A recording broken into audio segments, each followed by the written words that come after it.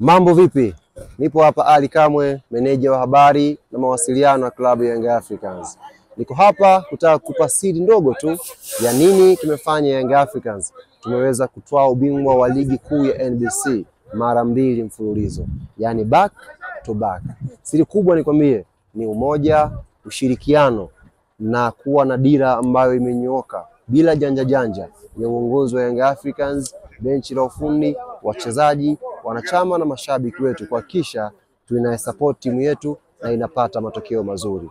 Uongozi umeplay part yake, benchi la ufundi imeplay part yake, lakini quality players ambao tuko nao pia wameplay part yao, lakini pia silaha kubwa ambayo tunaitegemea ni mashabiki na wanachama Young Africans pia waliplay part yao kwenye kuisupport timu yetu na kuhakikisha tunatwaa ubingwa wa ligi kuu ya NBC mara mbili mfululizo.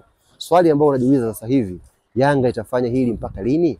Nikwambie mwanachama na mshabiki wa Young Africans, huu ndio mwanzo. Tunataka tupige back to back kumi mfululizo. Young Africans tuweke historia ya kutoa haya mataji ya ligi kuu ya NBC mara kumi mfululizo. Mmeona NBC wametuletea mwali mpya, kombe zuri kweli kweli, tutalibeba hapa kesho inshallah.